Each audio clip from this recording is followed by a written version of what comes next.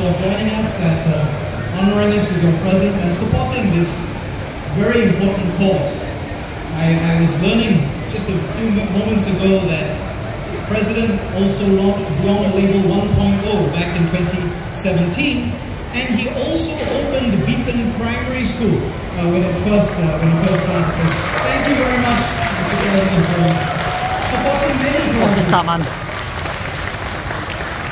I also want to acknowledge uh, Professor Kevin Lim and Ms. Teresa Go, Vice Presidents of the National Council of Social Services.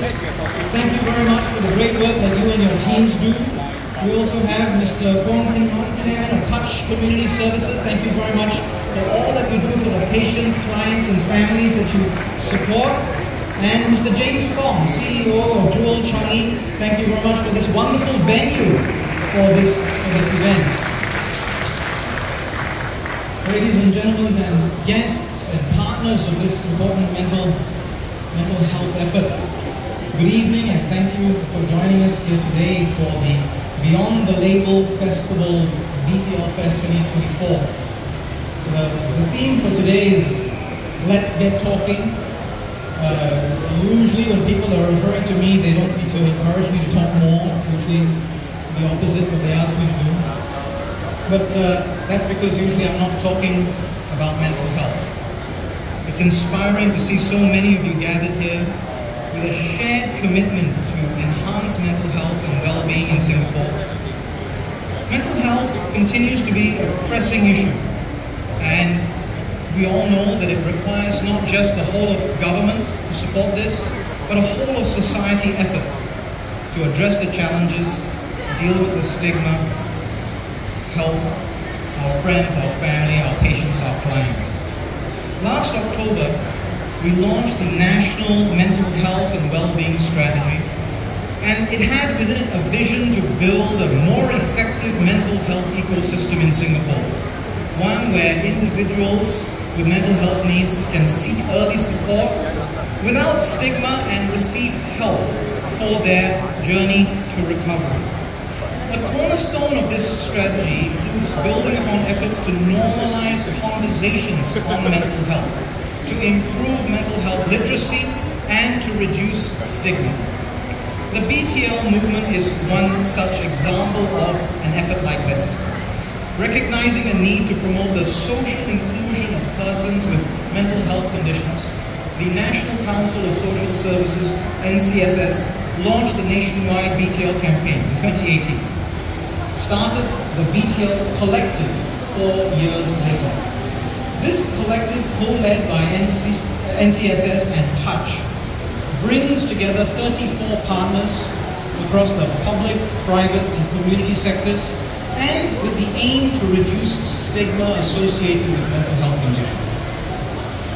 We have found over the last year that individuals who've engaged in the Beyond the Label initiatives have a more positive attitude towards persons with mental health conditions. If they've engaged with the BTL initiatives, they were more willing to support their loved ones with mental health conditions, and they themselves were more willing to seek help should they have such a condition. All this shows that we are indeed making progress. If you're working in this space, if you know someone who has these challenges, you know that more continues to need to be done. We continue to need to do more.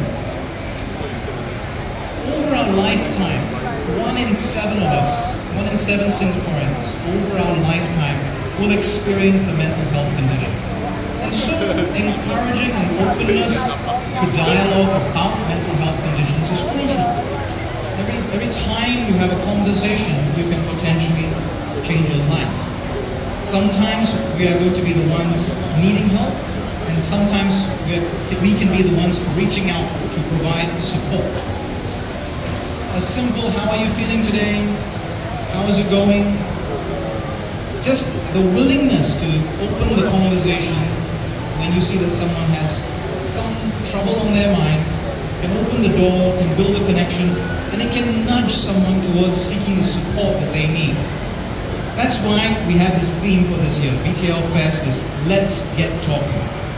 We want to encourage persons with mental health conditions to share their stories of strength, share their journey towards recovery and the resilience that they have to let and for those of us who are coping or who have recovered or who have done well, let everyone know that they are not alone. Help is available and we're willing to reach out. There are many, many stories that we can tell that exemplify the power of a supportive community. But if you have a condition, post-traumatic stress disorder, depression, bipolar disorder, you have significant challenges with your mental health, and you have significant challenges in engaging with the support, the help, the structures, and the processes that are out there.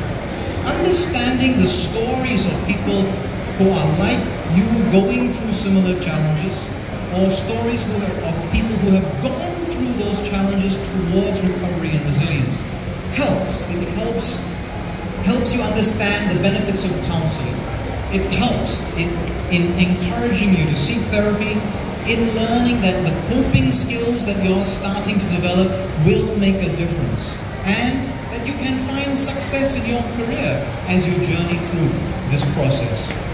Speaking of careers with the backing of supportive employers, these individuals are often able to discuss their mental health challenges openly in the workplace and potentially inspire others in the workplace to seek help as well.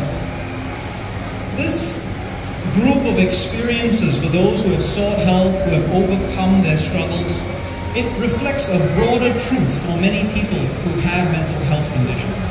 It underscores the importance of the openness, the ability to seek support, and, as I mentioned, particularly in the workplace, where usually everything is tilted in the other direction, to pretend that there's nothing wrong, to continue to soldier on, to hide the challenges that we may have internally in case someone finds out. We need to move in the other direction, to remind people should have to wait until you reach a breaking point before seeking assistance. Reaching out early can make the journey to recovery much more manageable and it can make the process much easier to deal with. It's always good to be okay to ask for support at any stage of your journey of resilience and your journey towards recovery. Today, we are also coming together to recognize the power of collaboration in achieving our common goal. The BTL Collective plays a pivotal role. It's a convener within the mental health space. It has driven partnerships that have led to impactful initiatives. And these initiatives have driven the conversation forward and break down the barriers, the stigma, the hesitance to seeking support for mental health.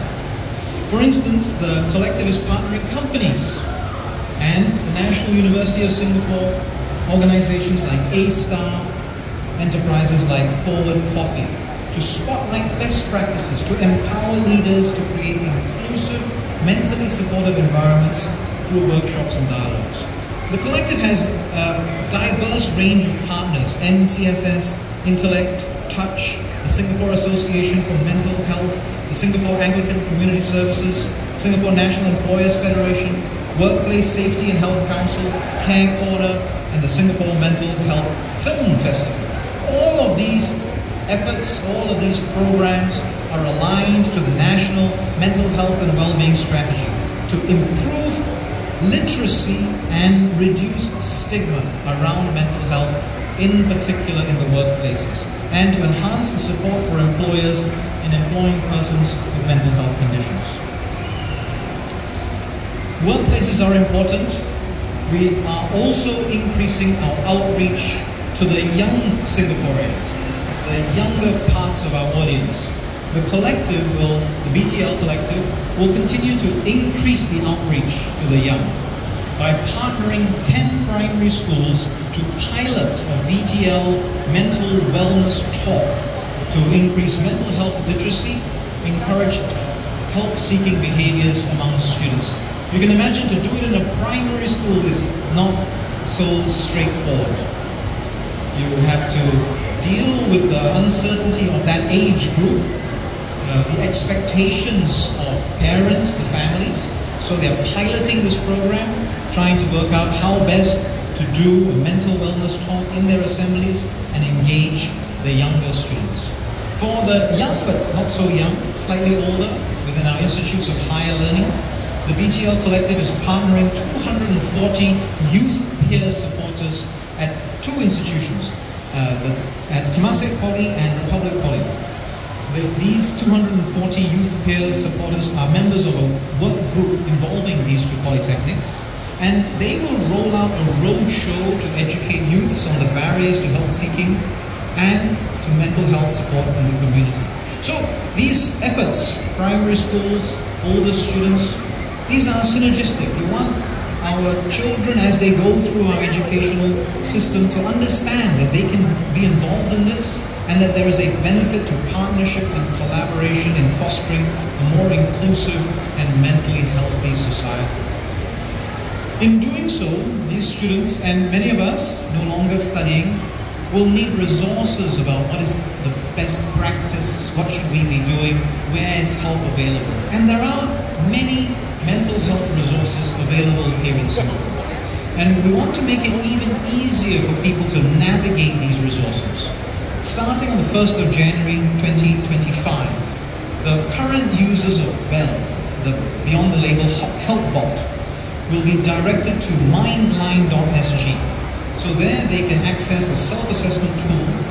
You go through some questions, you answer some of these questions, provide some information, and this allows a certain direction and advice. Where can I go to find the relevant mental health resources and services for me on the basis of that assessment? You can also access a community forum, aptly named Let's Talk. Uh, this is also accessible through mindline.sg and it allows users to have a safe space for conversations about mental health with like-minded individuals and professional therapists, but all done online and anonymously. So with all of these resources, help is it's not even a click away. You, they're on, it's on your phone, it's in your pocket, and you can access a wide variety of help, whether it's uh, PDFs, written documents, or actual connection to a person who can help you understand what you're going through. We recognize that everyone has different preferences when it comes to seeking support. So there's no one size fits all. Not everybody wants to look at it on a website. Not everybody wants to engage with a chatbot, and maybe not everybody wants to speak to a person. We have to make available all of these channels and resources at the same time. But for those who appreciate the personal interaction, I'm in that category. We have introduced in-person services through our community outreach team, Press and Chat. For those who prefer to call or text, the Ministry of Health will be launching the National Mental Health Helpline and Text Line in 2025. So you have an in-person and you have an online version. Direct connection with someone who can help you. So with all of this, and with the partners represented here and as part of our collective, we're committed to prioritizing mental health. We will empower individuals to seek help without hesitation.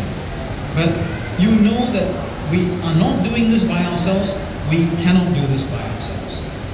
Just as we have to reach out to many organizations and bring them into the collective, each of us individually can reach out to friends, to family members, colleagues at the workplace.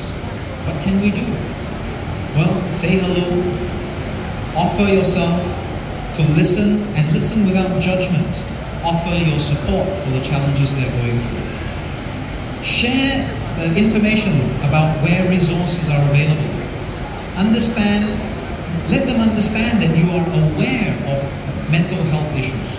These are small steps, but collectively these small steps add up to an understanding, a ripple effect, and a social change in our community around what mental health represents and how we can help our friends, our families, our clients, and our patients.